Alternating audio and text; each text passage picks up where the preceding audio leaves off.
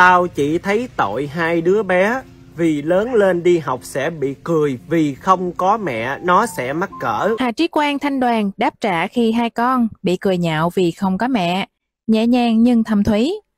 Liên tục gặp phải những bình luận tiêu cực về hai con song sinh, người tình đồng giới của Hà Trí Quang không ngần ngại lên tiếng đáp trả. Anh thẳng thắn tuyên bố về chuyện mẹ ruột của hai con. Cụ thể mới đây nhất trên trang cá nhân của mình, Thanh đoàn đã đăng tải video với nội dung đáp trả một bình luận của Antifan. Tao thấy tội hai đứa bé, lớn lên đi học sẽ bị cười vì không có mẹ. Trước bình luận này, Thanh đoàn đã lên tiếng bày tỏ rằng thời gian qua thì đoàn cũng thấy rất là nhiều bình luận suy nghĩ như bạn vậy. Trước tiên đoàn trả lời thì đoàn cảm ơn bạn trước vì đã lo lắng cho con của đoàn lớn lên đi học sẽ bị người ta cười là không có mẹ hay cười vì có hai ông bố là LGBT.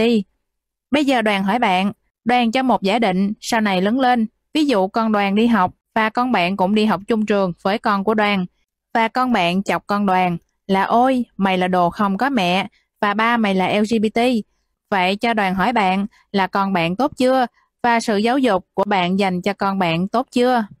Trong cuộc sống này, mình chắc chắn bạn cũng sẽ biết được một điều, sống là phải biết chia sẻ yêu thương, đùm bọc lẫn nhau.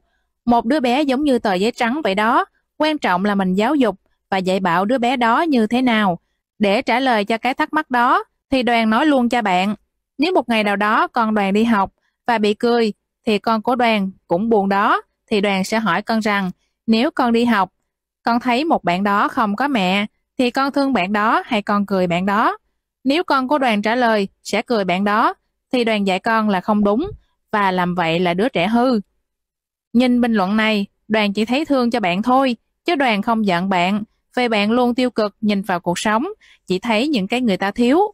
Nhưng bạn quên mất trong cuộc sống, người ta có những cái đầy đủ và dư hơn bạn rất nhiều mà bạn không chịu nhìn vào. Tốt nhất bạn nên dạy con bạn cách sống yêu thương, chia sẻ với bạn bè, chứ đừng có lo cho con người khác bị cười. Vì con đoàn, có đoàn và cha nó lo, nên bạn an tâm về điều đó. Chúc bạn dạy con bạn thật tốt để một đứa trẻ lớn lên sau này, đừng có đi cười người khác. Trước đó, kể từ khi thông báo về sự ra đời của cặp song sinh, Hà Trí Quang và Thanh Đoàn cũng đã gặp phải không ít những bình luận tiêu cực. Cả hai cũng đã lên tiếng rất nhiều lần.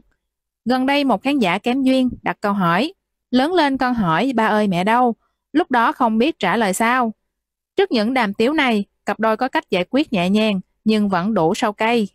Thanh đoàn lên tiếng, tụi em xin nói thẳng, cuộc sống mình đã sống chân thật, thì có sao mình nói vậy, y chang. Điều đặc biệt khi mình gieo vào đầu con nít là đừng có nói dối, như vậy thì mình đang tập thói quen cho nó rồi.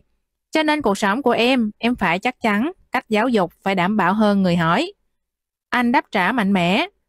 Quan trọng một đứa con sinh ra, được có mặt trên cuộc đời và được mình nuôi dưỡng là mình muốn có nó, chứ không phải như những người ăn bậy ở bạ, rồi có bầu xong đi bỏ, tội lúc cái đầu.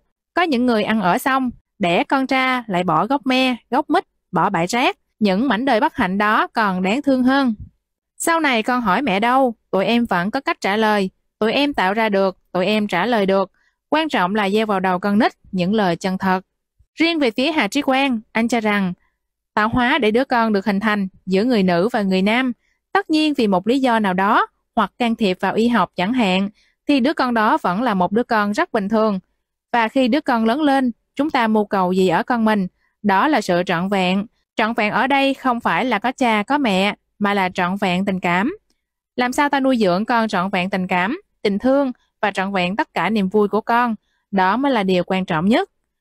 Những chia sẻ của cặp đôi trước những bình luận khiếm nhã nhận được sự ủng hộ của nhiều khán giả Hầu hết mọi người đều mong cặp đôi vẫn vững tâm chờ ngày con không lớn, không nên để những lời nói không hay tác động đến cuộc sống của mình.